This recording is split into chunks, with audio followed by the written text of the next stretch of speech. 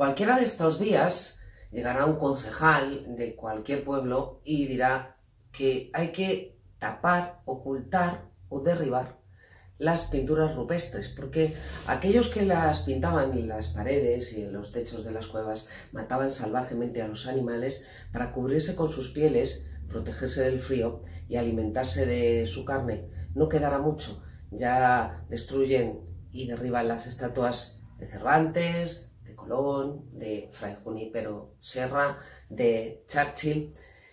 Es ignorancia, es vandalismo y es falta de respeto. Es juzgar a otros que vivieron en otros tiempos en función de las reglas que rigen en el nuestro.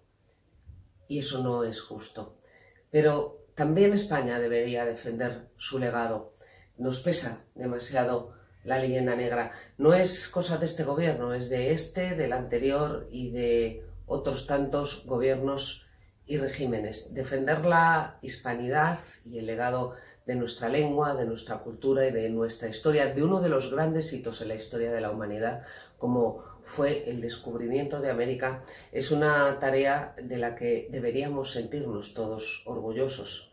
Claro que a lo mejor hay que ponerse de acuerdo entre todos primero en qué es España.